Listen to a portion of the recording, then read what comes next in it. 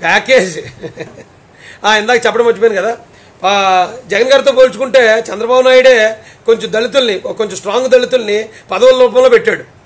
మన పవన్ కళ్యాణ్ అయితే దాదాపుగా ఇరవై సీట్లు ఎన్నో బీఎస్పీ దళిత పార్టీకి సీట్లు కూడా ఇచ్చాడు. అంటే అతనితో పాటు ఎమ్మెల్యేలుగా నెగ్గడానికి. వాళ్ళిద్దరు గౌరవించారు ఒక రకంగా చూస్తే. మేము అది వాళ్ళు చేసేదంతా నాటకం.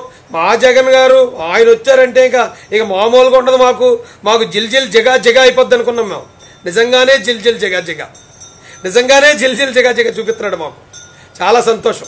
ఇప్పుడు వెళుతుంది. ఈయనతో పోల్చుకుంటే ఈయన అధికారంలోకి వచ్చాక ఎవడన్నా ఒక మనిషిని ఆడు అధికారంలో ఉన్నప్పుడు లేకపోతే ఆడు కలిమిలో ఉన్నప్పుడు ఆడి క్యారెక్టర్ ఏడు తెలుస్తుందట.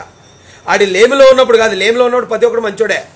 ఆడి కలిమిలోకి వచ్చాక ఏంటనేది ఆడు ఒరిజినల్ క్యారెక్టర్. అలాగే జగన్ గారు పదవుల్లో లేనప్పుడు అందరినీ ముసలోళ్ళని ముడకోళ్ళని ముద్దులెట్టేసి గ్రామాల్లో నడిచేసి అందరు ఇది ఆటో డ్రైవర్ల దగ్గరికి వెళ్తే ఆ సొక్క వేసేసుకుని టైలర్ల దగ్గరికి వెళ్తే టైలర్ ఇంకోటి వేసి ఇంకొకరి దగ్గరికి వెళ్ళి చేస్తుంటే అబ్బా నిజంగా ఇలాంటి నాయకుని చూడగలుగుతాం అనుకున్నాం. అధికారం వచ్చాక తెలుస్తుంది. అసలు ఏంటి ఈయన వ్యవహారం ఏంటని?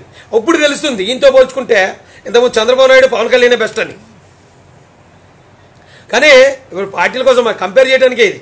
మేము ఏ పార్టీకి వెళ్ళే ఆలోచన లేదు. మేము నిలబడతాం. మేము సీట్లు ఇస్తాం.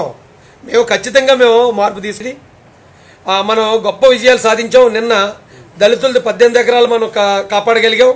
అలాగే వంద కోట్ల రూపాయల ఆస్తిని కాపాడగలిగాం. ఈ విషయంలో ఆ రోజు పోరాటానికి వచ్చిన క్రైస్తవ సంఘాలకి పాస్టర్ ఫెలోషిప్లకి దూరం నుంచి వచ్చిన క్రైస్తవులకి మరి ముఖ్యంగా పోరాడిన దళిత యోధులైన మహాసేన వీరులకి పోరాడితే పోయేదే లేదు. బానిస సంఖ్యలు తప్ప. ఈ రోజు నేను దగ్గర అధికారం ఉంది తప్పుడు కేసులు పెడితే ఏదో చేస్తామంటున్నారు. బాబు మీ దగ్గర ఉన్న ఐదు సంవత్సరాల అధికారానికి మీరు ఎంత విరవీగుతుంటే డెబ్బై సంవత్సరాల నుంచి ఇచ్చిన మా రాజ్యాంగం మా తాత ఇచ్చిన రాజ్యాంగం ఉంది ఇక్కడ మాకు.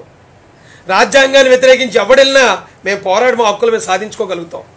మాకున్న ఆయుధం రాజ్యాంగం. డబ్బులు లేకపోవచ్చు అధికారం లేకపోవచ్చు బ్యాక్గ్రౌండ్ లేకపోవచ్చు. కానీ రాజ్యాంగం అనే వజ్రాయుధం ఉంది మా దగ్గర.